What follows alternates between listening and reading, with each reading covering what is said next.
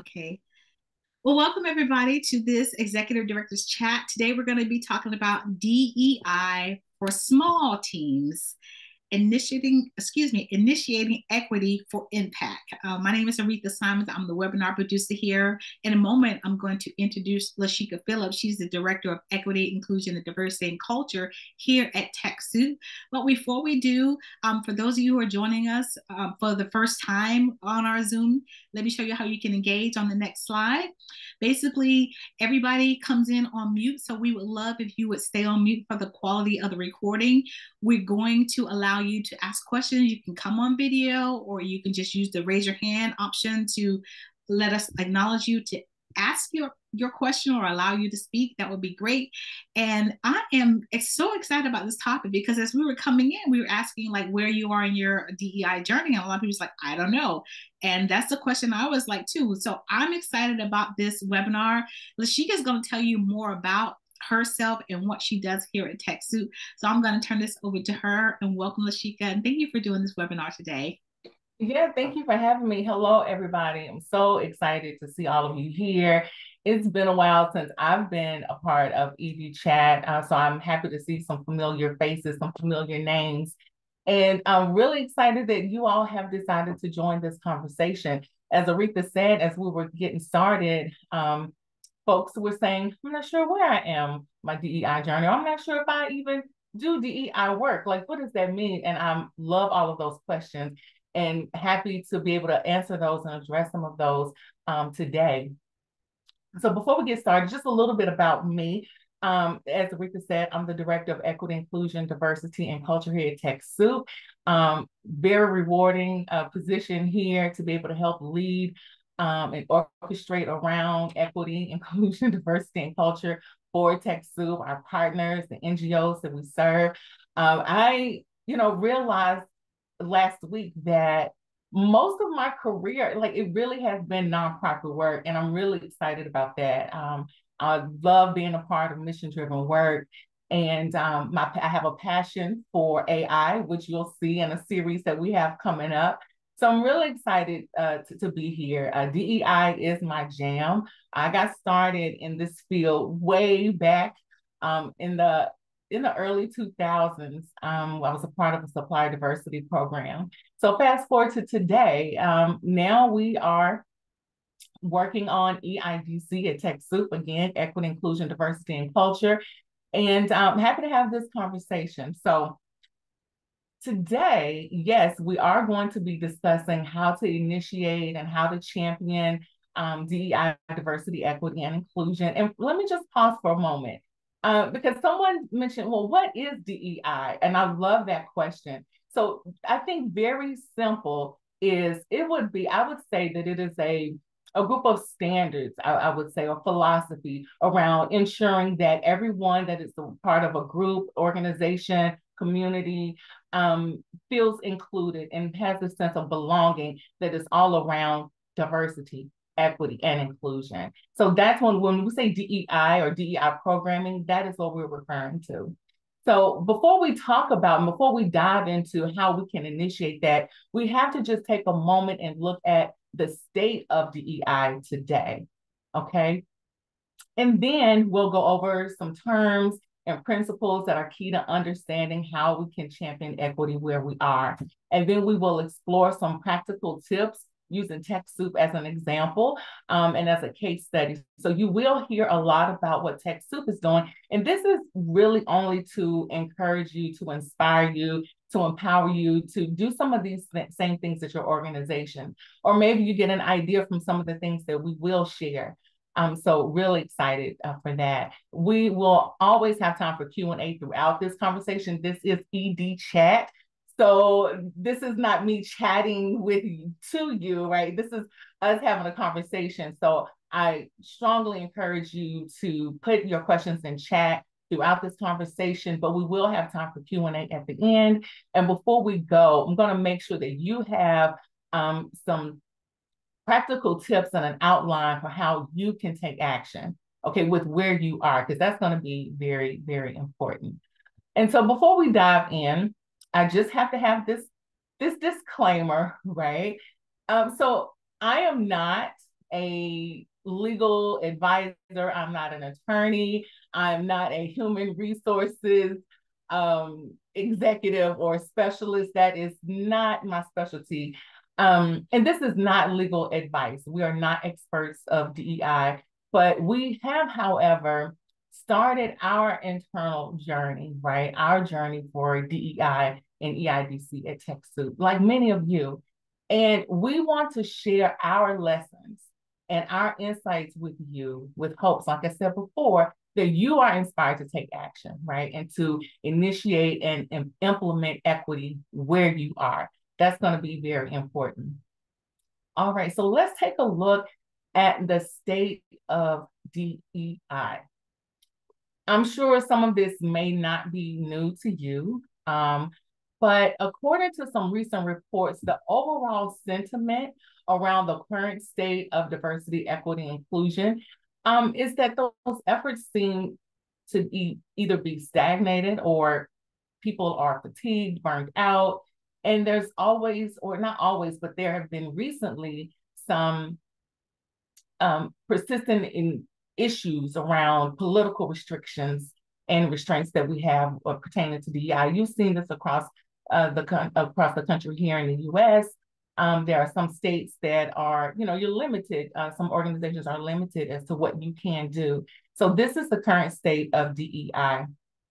And I'm curious to know, is any of this resonate with any of you today?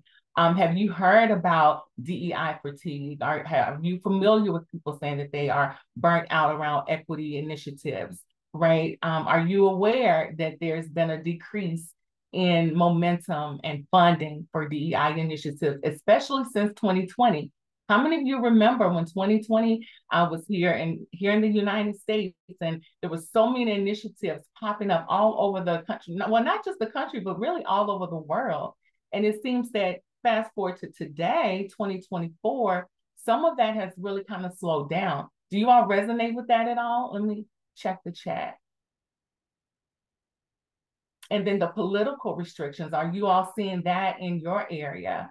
Um, let me see if I can go here and chat and see. Because again, this is ED chat. I just want to make sure.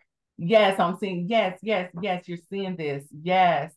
So that that's important to be aware of, right? Because if you are in the process of implementing uh, equity initiatives and you're not aware of the current state, it can be very challenging, right? So just arm yourself with this knowledge that I can, like, like I said, I will share this presentation so you can take a look at these articles and these reports. And there are many, many more out there, right? But this is important for, for all of us to be aware of. So our solution, TechSoup solution, um, to this is to engage in conversations like this, right? And to engage in collaboration and sharing of practical ways to champion equity in the sector. And again, we're not experts. We are just simply sharing our journey um, to, to help you and to help give you some ideas for what you can do um, where you are in your organization. And uh, as I mentioned before, this is a part of a series of webinars, a series of ED chat and so we'll have an, another one in May and then one in June. Hope that you can sign up for that. Uh, we'll have information at the end. And before we dive into these um, foundational equity principles, just want to see, uh, Aretha, if I've missed any questions. Is there anything that we need to uh, address before moving forward? Yeah, I like that Mark said that he's from Idaho and he said his legislature legislature is taking actions to forbid DEI. And um, someone else said the same thing is happening in um, in the UK. So mm. interesting. Mm-hmm. Mm-hmm. Yeah, it's it is it's happening, and we just we have to be aware. And I think that having conversations like this will prompt. Well, I think it will encourage uh, creativity, prompt some creativity, because I think that there are some ways that we can um, we can maneuver and we can navigate even when the the climate is the way that it is. I think that we can still be impactful and still have some meaningful initiatives um, which is again why you all are here right? Um, so that that's really really great. So let's move on to foundational equity principles. And so looking at just laying groundwork for um, with principles and terms I think it's very important to understand the difference between equity and equality, right? So think about uh, uh, equality. Equality means to provide the same resources or opportunities to everyone. Um, and that can sometimes mean that something or someone is overlooked, right? And that the fact that people start from different places due to various reasons. So that would be equality. Now, equity would be would involve acknowledging those various uh, differences that I spoke about a minute ago, just acknowledging those uh, and allocating resources and opportunities based on specific needs of individuals or communities or groups to ensure um, to show an equal outcome, equal results. And I, I, know there for a while there was an image floating around. Um, it's uh, somewhat similar to what you have here on the screen. So on the screen, I have an image um, that's showing, is demonstrating with graphics equality uh, and equity. And so in the first image representing equality, you see that everyone, regardless of their height, regardless of where they are, everyone has the same size block to stand on. That is equality. Everybody has the same thing. Everyone is equal. Looking at equity, though, equity, however, says, okay, we recognize that everyone is different. And so for each person or for each difference, we have support so that now everything, everybody is, is equitable because now everyone has what they need in order to have that desired equitable outcome. And in this case, it's to view a, a game, some sporting game. Okay. And looking at inclusion and diversity. So with uh, looking at inclusion and diversity, uh, equity principles emphasizes the importance of including diverse voices, different voices, different backgrounds and perspectives in all levels of, of the organization and from staff, leadership to board members and all, uh, all stakeholders. This diversity should reflect the community served and it helps to ensure that programs and policies are relevant and effective. And so I think this is a perfect time for me to pause and just to share with you why did TechSoup call their DEI program EIDC? I absolutely love this question, and it was very intentional. Um, and so, with naming the program at TechSoup, it was important for us to prioritize equity. So that's why you see equity first in, in our program name, EIDC. So equity, prioritizing equity to ensure inclusion, to bring meaning to diversity, to build culture. So that that is where we are uh, at TechSoup in our naming convention for our programming. And then looking at cultural competence, it's just it's important for organizations to develop uh, cultural competence, right? Understanding and respect for the cultures and experiences of staff, other stakeholders. And this involves active listening, active learning, about those cultures, engaging in, with community members um, in decision making processes, and tailoring services to meet those unique needs. So that's what we're thinking about. We're talking about cultural competence. And then continuous learning and adaptation, recognizing that it is a journey. It is not a one stop destination, right? We are continuously learning, we are continuously evolving uh, and adapting. And so I just want to encourage um, you to think about that. You know, how are you continuing your your learning, uh, you know, of these different aspects and concepts? And I just have to ask, you know, while we're here talking about these principles, are there other core principles that come to mind when you think about um, equity principles? Are there other? I, I, can think of one. I can think of one. What about accessibility? Is that not a foundational equity principle, accessibility, right? Can you all think of any more? Are there any more? And I'm going to check the chat to make sure.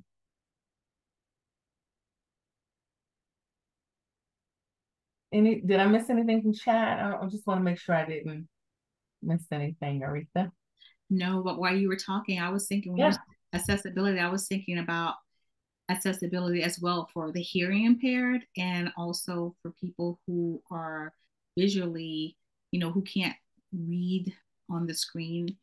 but there was some comments uh, from Kathy and Mark, and I, I would love for them to, at the end, to unmute themselves to talk about this. Um, they both serve in New Hampshire and in two states, New Hampshire and um, Vermont, and they have okay. two different perspective legislatively on DEI. And it says they said it creates challenges to carry out their mission consistently. That's mm-hmm. pretty deep, huh? It is. It is. It is deep. And I'm just I'm here to say that I I hear you, and I do think that this is an opportunity. This is a time and a season for those of us who are serious about this work to be creative. Creative and collaboration and intentionality is the key to this today. That is it. That that is how um and, and we'll get we'll get to all of that. I'm loving this. Yes, yes, yes. Um yes. So we we will get to that and I would love to hear from other people how they um have been creative and moving moving the needle, right? Um, so I'm really really happy to see the the engagement in chat. LaCheka, a few came yeah. uh, Mark says respect for immigrants from other countries. Yes, see that goes that goes with cultural competence. Absolutely, it's also inclusion and diversity. Mm-hmm. Absolutely, absolutely. Yes, yes. Okay. Oh, um, was answered that. We we have those. Yes, we do. And so now I would love for us to start looking at because I just talked about, you know, this is the time for us to be creative. It's time for us to start partnering with other people. Uh, and so, how can we do this, right? How can we do this? So, I want to talk about some tips um, of how we can do this. And again, prefacing that we're not experts, right? Uh, but TechSoup has done some things, you know, and we think that we can share those, and like I said, in hopes that maybe you're inspired by something. Maybe not to do the exact same thing that we did. I, I don't know, but hoping that some ideas start sparking, you know, as we as we continue. So for nonprofit executive directors wanting to uh, integrate or expand equity principles in their organizational culture, practical steps, you know, as we've said before, it's going to be, it, it's key for meaningful implementation, right? And for impact. So when developing or maybe revamping your strategic approach, um, I want to just give you these tips. Okay. So first, looking at leadership and allyship the first thing that we did, uh, the EIDC team at TechSoup, is before we just started coming up with ideas and thinking about initiatives, what we did is we decided to identify at least two senior leaders who were dedicated to supporting these initiatives with us within the organization, right? Kind of like if some in some organizations you may call that an executive sponsor. Um, you may even call that uh, an ally, but it's going to be very important that that you do that. You identify other people within your organization, and sometimes you can find some external uh, contacts, some external uh, connects to help you to be able to collaborate and to help move the needle.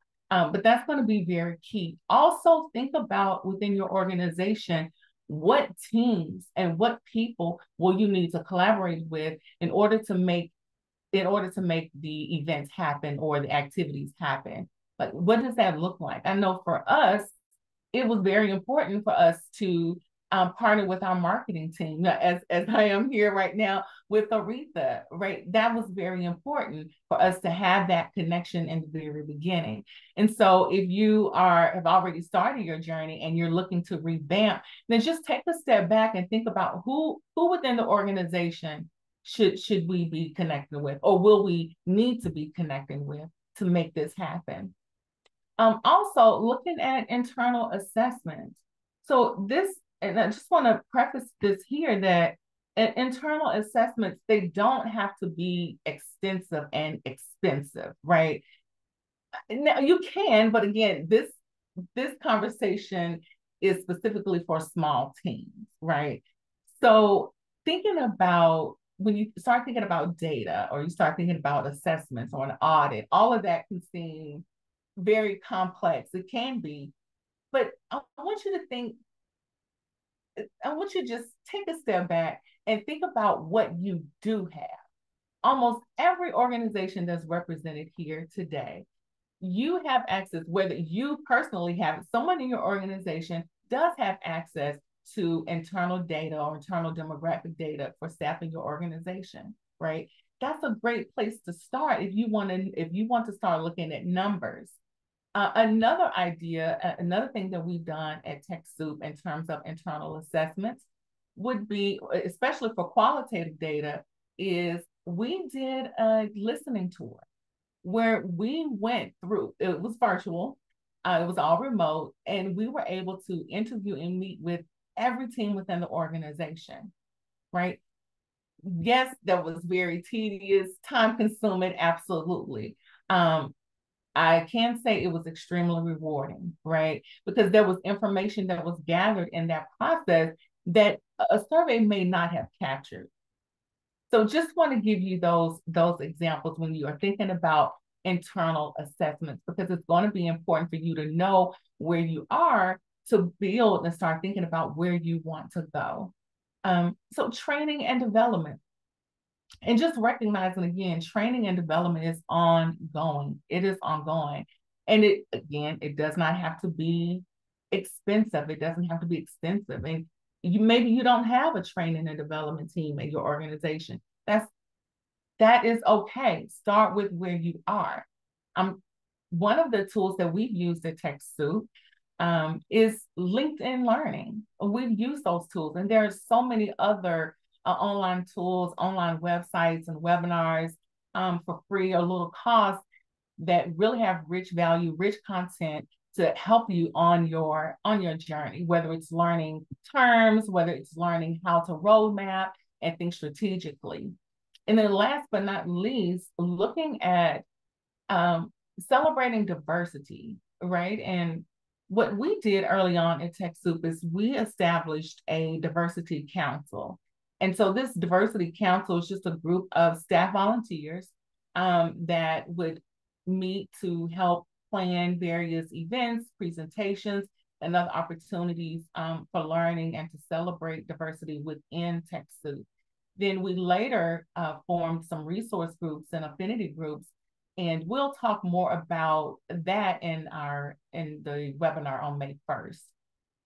And so uh, before we move on, are there other areas that you think that leaders should consider when they're prioritizing or revamping um, the culture around equity.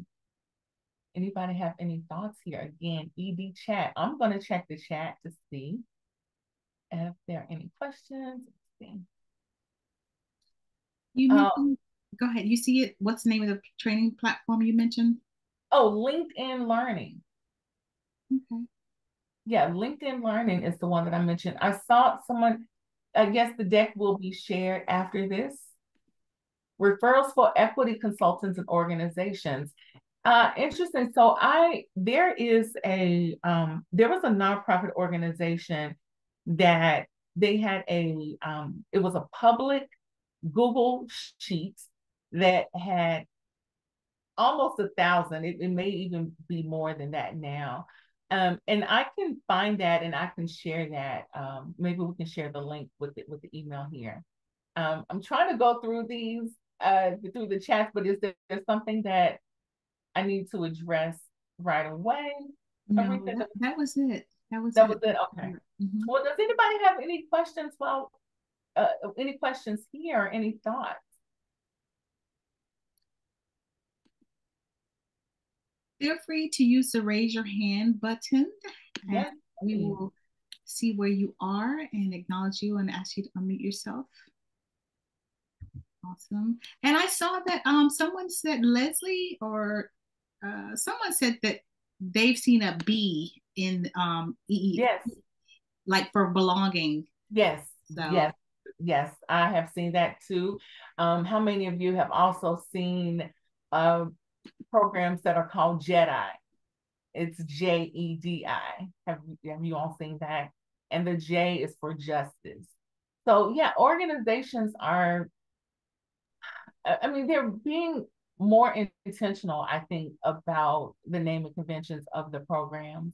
And um, you know, as someone who is um, you know, intentional with naming and know, thinking about EIDC and TechSoup, I appreciate that. You know, I think that I would rather be intentional than trendy, right? Mm-hmm. And I think that that's, I don't know, that's just at the core of real work, right? I, I that's powerful.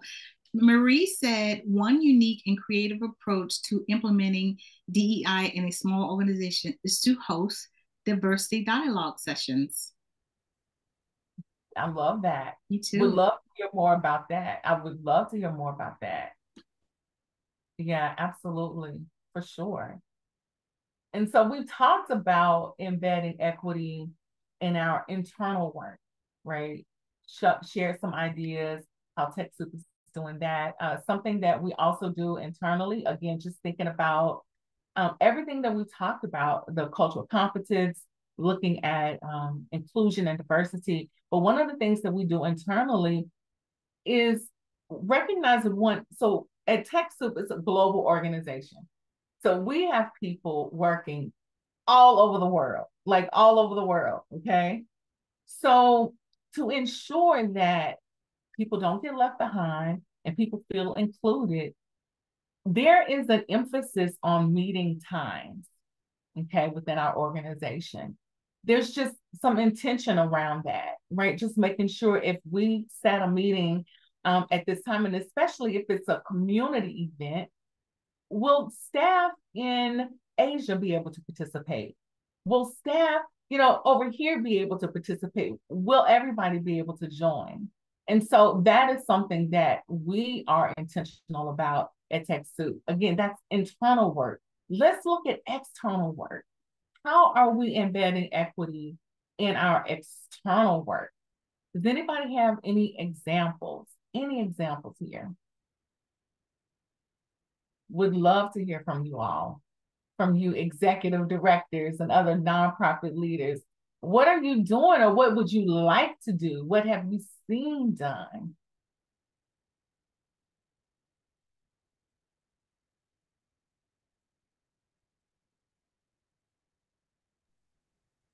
You see that? Marie says, imaginary in our ads, imagery, excuse me, imagery, duh.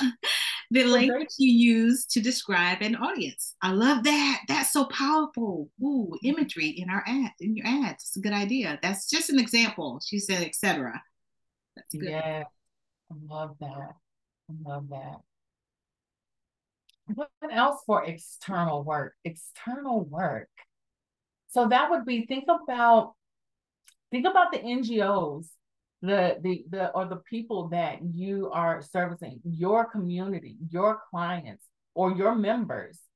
Um and you may be embedding equity in your work and may not even realize it mm-hmm. you know? Um so maybe you all are just thinking and that's good. I i that's fine. Yeah. But i'll give you an example. Another well, does somebody have an example? Because i yeah, Kathy, in the chat, Kathy put, we've embedded DEI principles in our career readiness curriculum for youth and training for employers and educators. Oh, I love that, Kathy. If you don't mind, I would love to hear how you did that. I think, I think not just me. I think we all want to know how how did you embed DEI principles in your career readiness curriculum? How? Do is it okay if I unmute?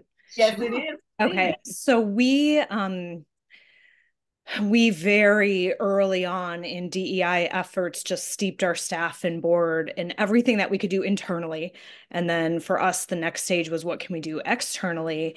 Mm-hmm. And so we have 20 year old career readiness curriculum that we've we refresh every year, but we've never really looked at it with a DEI lens.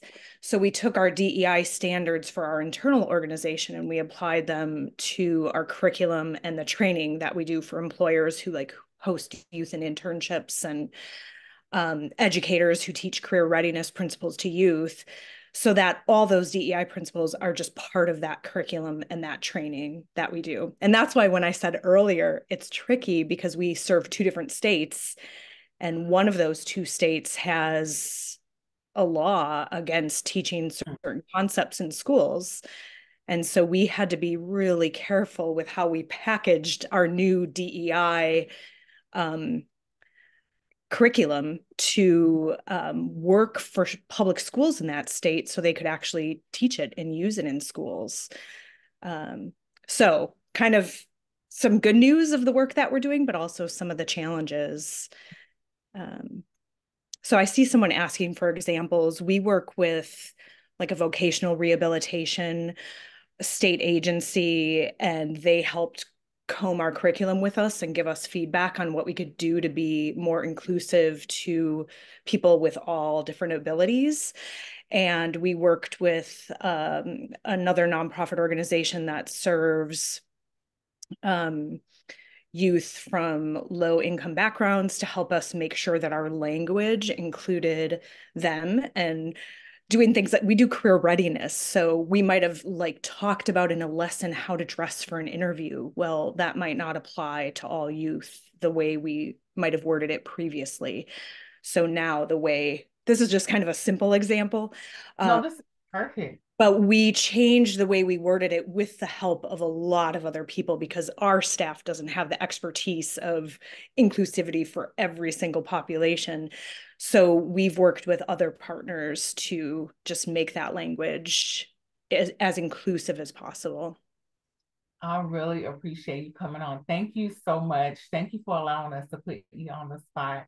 I really appreciate that. And, you know, I, I think that listening to Kathy, you covered you covered the three things that I said. Do you all remember when I said the what it's going to take and the key for DEI right now is going to be collaboration. Kathy spoke about collaborating with other folks, right? It's going to be intentionality. Well, that's very clear in the example that she gave right? And it's all of that is key. All of that is key. I just missed my my last point. just just missed my last point looking at chat here. But no, this is really, really good. Thank you, Kathy. Anybody have any other examples of how you are embedding equity uh, in in your external work? Or maybe you've seen another example. Maybe it's not at your organization. I would love to hear how how you're doing that. And I would also want to hear if you're not sure, Maybe you say, hey, we do this, but I'm not sure if this is equity lens or not. Oh, I see a hand raised. Yes, please feel free, Marie, to come off mute. And I'll even turn on my camera. Oh, nice. it, it's more of, um, I think, a pet peeve, and it's a debate I know a lot of people, some people have, um, and that's the term, using the term BIPOC, that when we talk about equity and we say BIPOC, it is a pet peeve for me and for a lot of people. Um, just some background, I work, uh, um, my nonprofit, we create um, virtual education for Black birthing people. And there was a major discussion with, with a, a funder because they wanted us to say BIPOC people. Um, and for me, that is use a, a catch-all because when you say Black, Indigenous people of color, you're taking Asian people and you're putting them in with Black people. And these are very diverse groups who've had very di different experiences just in America. Um, even within a single ethnic group, you'll find a whole spectrum of different perspectives, beliefs, stories. You look at this whole debate among people with what is country right now, right? And as a woman who's originally from Kentucky, I think I know what is country, and um, and then someone from Texas who may have a whole different perspective, right? So and but and yet we both have the same skin color. So if you can't paint people within a single ethnic group as the same, how are we going to do that with a bigger group of people? And yet that's what we do when we say BIPOC, or we create these initiatives that are focused on BIPOC. And then we use terms like disadvantaged communities, and we tend to then lump everyone who is um, Asian must be a first gen, and they, and my son in law is Chinese, and his father has been here since the 1900s, or his family can date back to the 1900s. And so, but when people meet him, they say, Oh, how long have you guys been in the country? Probably before your family. How about that one? And so, those are the things that I think we tend to overlook when we talk about being respectful of diversity. Yeah. Really appreciate that. Thank you so, so very much. And, you know, I think what's interesting about the term BIPOC is, I mean, correct me if I'm wrong, but I don't remember seeing that term 10, 15, 20 years ago. Right. That was that this is this is new, right? And I'm saying that because I think that as we evolve, I think these terms will evolve as well, right? I, I saw head nods, you know, as you were speaking. So you're not the only person, you know, with that sentiment. And I, I think that, again, it's going to require us to be intentional, right? That collaboration that comes in to make sure that we are getting various perspectives um, when we're thinking about identity, because that's that is the, at the core of what you just talked about. It is identity and identity is just one part of a dimension of dimensions of diversity. Uh, there's a chart that i can share about dimensions of diversity and an identity is one part it's one part but it is so important it is so important. So thank you for opening that up. Love to have these these conversations. Um does anybody have i want to yeah. I wanted to be able to speak to the BIPOC term just okay. really quick. Okay. Um, and and and here's why. I understand the controversy behind the term, but my organization, um, we have um, we had a different issue um, in that we are not trying to reduce anybody. I'm an African American woman. I have to go to a conference because I'm actually at work right now. Um, we, we're not trying to reduce anyone. We're not trying to minimize anyone's experiences. What we needed is a term that covered a, a larger group of people. So it was it's difficult to be able to when you're speaking to funders or donors or payers and say, you know, and list out every ethnicity that we're trying to cover, trying to cover a wide range of um, people um, of color. And that doesn't always include just Black people. It doesn't always include just Indigenous people. It doesn't always include us. So we are trying to look for a term we I'm, I'm sorry, Crystal. I don't. Uh, Crystal, Crystal, can you hear me? One one moment. There's a yes. there's a lot of feedback, and I'm having a hard time. Aretha, is it is it just my connection? No, it's not. You have a on bad connection. Crystal. Oh, okay. Okay. Well, no worries. No worries. Um, you guys can't hear me at all. It's breaking so, up. You sound good when you just said okay, you can't hear me at all, but it's breaking up. So we're we're getting like bits and pieces of what you're saying. Ah, okay. It's not clear even now. Nope. Okay. No worries. Thank you. Well, please put it, please put what you were wanting to uh, express. If you can please put that in the chat, because I was able to hear a, a little bit of what you were saying. And it sounds like, and please correct me in chat if, if I misunderstood, but it sounds like at the core of what you're saying is that your organization uses and leans on the term BIPOC to ensure inclusion and diversity. That's what. Absolutely. Okay. That's what I'm trying to say. Can you hear me now? Because I had to move to a different room. Actually, I'm just going to go outside. You, you sound uh, underwater. I sound what? like you're underwater. Like. Ah, Okay, maybe it's my headset. But yes, and and I'm going to unmute. But yes, that's exactly what I'm trying to say. Okay. We're trying to we're trying to be a lot more inclusive and making sure that we cover everybody that we're trying to cover by using the term. Um, and because there's so much controversy about the term, we finally had to write an article on our website, a blog article, just to explain what we do and why we do it. Wow. Thank you. Thank you so much, Crystal um, really appreciate your feedback. And I do believe that there are some folks they they agree, they understand. I'm seeing um, notes in the chat here, but uh, absolutely, thank you so much for sharing your perspective. Are there any? We're at the point where um, Q and A. So I'm really enjoying how this is going. The, does anybody have any other questions or thoughts? Um, we talked a lot today. We talked about um, the state of DEI. We talked about various uh, terms and foundational understanding and principles for um, initiating equity at your organizations and specifically where you are, right? Not trying to, um, it doesn't have to be complex. Now we know that it can be challenging. Yes, yes, yes. But we can start where we are, right? Anybody have any thoughts or questions there? Oh, let's see.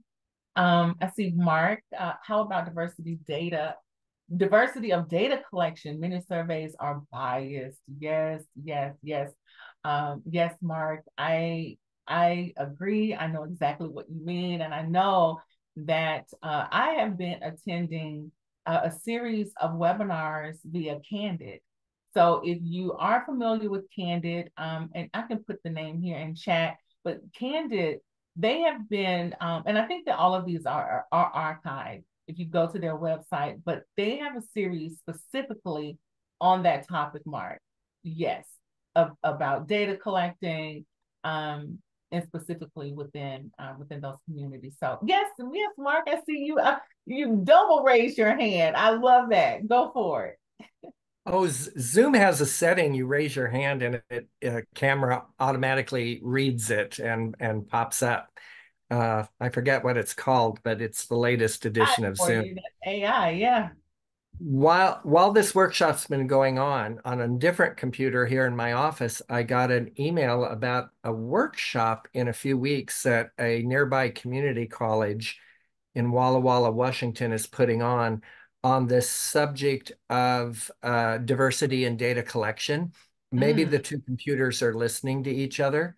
uh, I um, unfortunately it's it's an in-person workshop. I don't think it has remote capabilities, but the speaker, this is a speaker that maybe people want to look into because she mm-hmm. started a company called Namaste Data.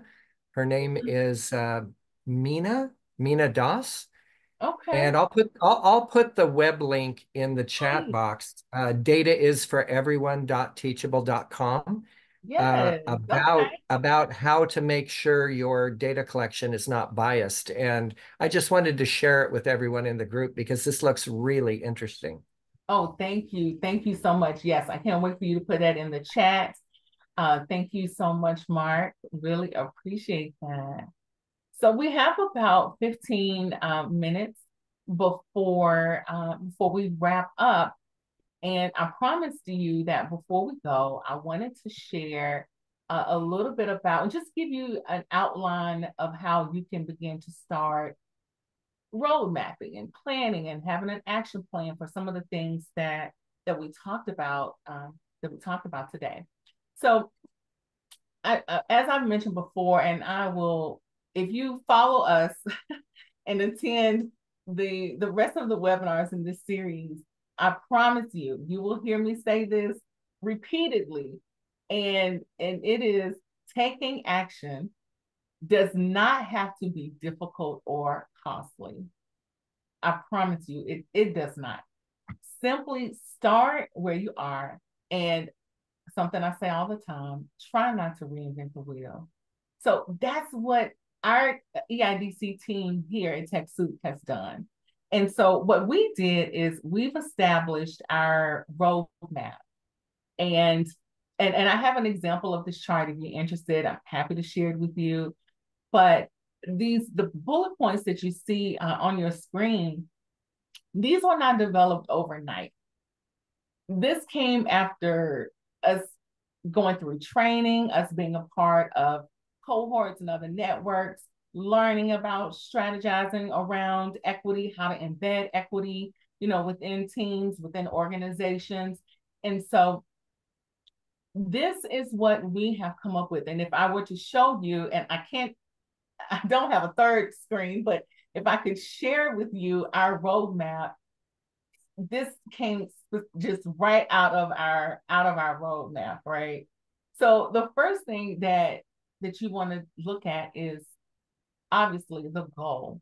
But again, as I said, keep it simple. So in order to keep it simple, our recommendation is to think about one thing of all of the things that we talked about here today. What is one thing that you want to accomplish at your organization or for your team by the end of this year? Just one thing. And then just make sure that that one thing is aligned with your organization's mission or strategic objectives. Um, you will find that when it is, you find you have more support. You find that you're able to move from point A to B to C to the end when it is aligned. Okay. And then, secondly, look at your motivation and your why behind the thing that you want to accomplish. And, and can you clearly explain the ideal state versus the reality of, of what you're trying to improve or expand? And then think about the actions that are needed to close whatever gap it is that you're wanting to close. And what is the anticipated time commitment for each one of those things? That's going to be important again because collaboration. We want to ensure that we have um, things already lined up and prepared. So when a partner, an ally, a sponsor uh, approaches us or we approach them for opportunity to collaborate, we can say, this will only take X amount of time, right? Over the course of two months or a year or whatever the case is. But knowing that in advance can really set you up for success. And then last, definitely not least, is where are there opportunities for collaboration? So think about the skills, the tools or systems that would be needed in order for you to accomplish that thing. And think about who would you need to collaborate? What teams within your organization or what people within your organization would you have to work with in order to make this happen? Right. So think about all of those things as you are as you're planning and um, putting together your roadmap. Uh, any questions here? Any questions here? I'm gonna hop over the chat really quick.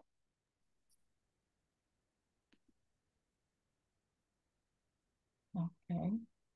No questions here? Okay, well, I'm just going to move on.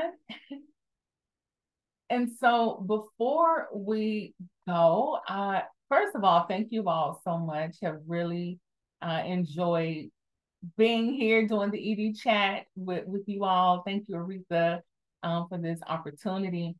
Um, just want to point this out before we go.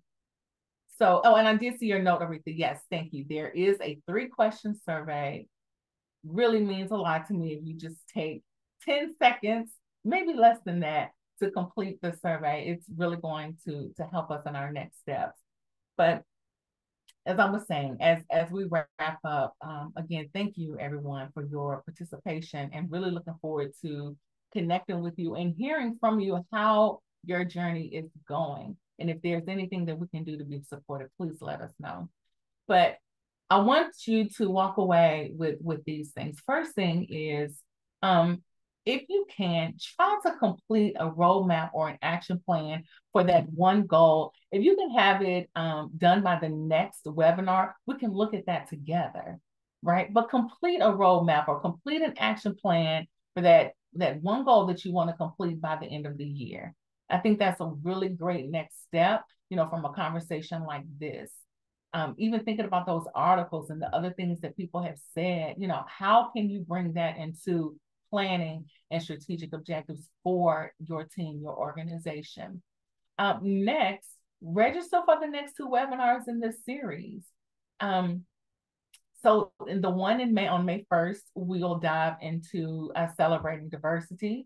And then um, in June, we'll finish the series with exploring how we can leverage artificial intelligence to support our DEI work. I'm really excited about, about that and how we are using AI for some, some work here. And lastly, uh, you know, and thinking about next steps, please share your thoughts in the survey that we have. Um, it's like I said, it's only three questions, and it's going to help us to develop an online community that is dedicated to providing peer-to-peer engagement, online events, toolkits, sector insights, and other resources.